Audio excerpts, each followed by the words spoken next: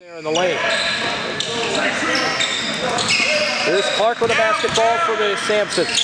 Turns, wings up the left hand, shot. That was a shot. He's had a nice game for them.